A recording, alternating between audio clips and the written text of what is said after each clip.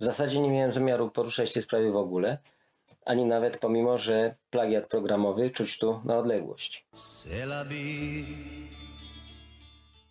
Poruszam ją jednak z innej przyczyny. Kiedy bowiem Szymon Hołownia przedstawił program o rozdziale państwa od kościoła, yy, dostał totalne przemilczenie tego faktu w mediach wiodących. Nie ma informacji, nie ma tematu.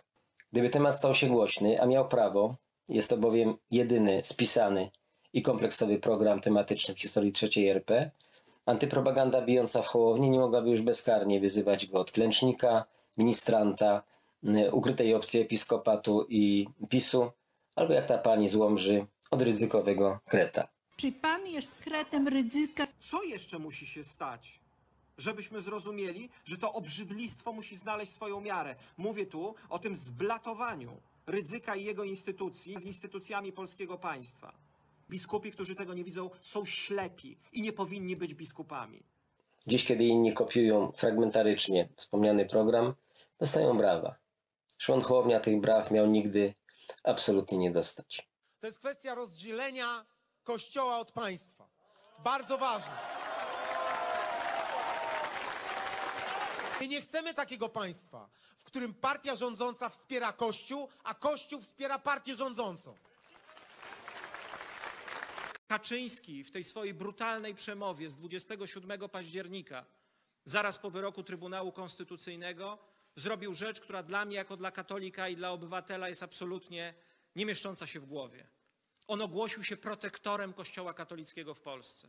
To był policzek dla obywateli Rzeczpospolitej, ale też i dla katolików. Miliony złotych, te setki milionów złotych, które idą na wspieranie przedsiębiorców kościelnych, biznesmenów kościelnych. Tu nie chodzi o kwestię wiary.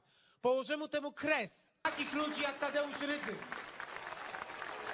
Konieczna jest całościowa analiza przepływów finansowych między państwem a Kościołem katolickim i innymi związkami wyznaniowymi. Zwrócenie się do Najwyższej Izby Kontroli o wykonanie gruntownego i pilnego audytu wszystkich przepływów finansowych pomiędzy wszystkimi jednostkami finansowanymi z budżetu państwa, a tak zwanymi dziełami ojca Tadeusza Rydzyka. Kolejna kwestia. Zlikwidujemy fundusz kościelny. To państwo powinni decydować o tym, jak ma wyglądać odpis podatkowy. Każdy może przekazać swoje pieniądze. I to jest też ten konkret, który jest w naszym programie. Trzeba zlikwidować fundusz kościelny, który jest anachroniczną instytucją. Proszę pamiętać o tym, że jego wysokość zależy zawsze od układu w parlamencie. To większość rządząca decyduje o tym, ile pieniędzy w funduszu kościelnym się znajdzie. To prawo trzeba oddać obywatelom. My proponujemy, żeby te środki zostały niejako zastąpione przez możliwość dokonania dobrowolnego odpisu podatkowego na wybrany kościół, na wybraną wspólnotę religijną w wysokości od 0,3 do 0,5%. Ale jedno jest pewne. Ceny powinny być jasne z góry na każdym cmentarzu, za każdą posługę i powinien je określać samorząd. Bo samorząd wie, jak te ceny powinny wyglądać. Ta sytuacja po prostu powinna być przejrzysta. Zadaniem państwa, po piąte, i to bardzo ważne, jest zabezpieczyć prawo każdego obywatela do pochówku. Dlatego samorządy powinny otrzymać prawo kontroli nad cennikiem usług na cmentarzach należących do związków wyznaniowych tam, gdzie nie ma cmentarza komunalnego. Dyskusja na temat lekcji religii. I ja wiem, bo rozmawiam przez cały czas e, z rodzicami. Niektórzy mówią, że takim jest wygodniej, niektórzy mówią też o pewnej przedwojennej tradycji, ale jedno jest pewne. Na pewno ocena z religii nie powinna być na świadectwie i tak powinniśmy organizować plan lekcji, żeby religia była albo na pierwszej, albo na ostatniej lekcji. I to też Państwo gwarantujemy. I drodzy Państwo, to jest właśnie język konkretów. O tym, jak i przez ile godzin religia będzie uczona, powinna decydować Rada Szkoły, Rada Pedagogiczna, Rada Rodziców, być może też trzeba w to włączyć samorząd uczniowski.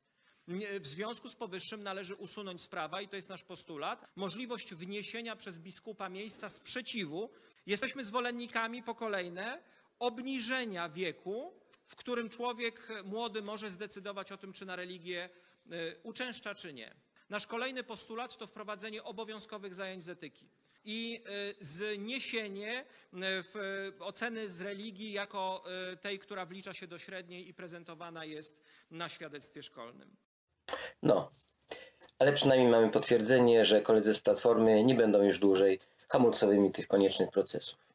Skonfrontowałem tu cztery punkty. Całościowy program Polski 2050 w tym zakresie zawiera tych punktów 12, e, łącznie z likwidacją dekretu Bieruta o określonych przywilejach dla Kościoła, który funkcjonuje do dziś.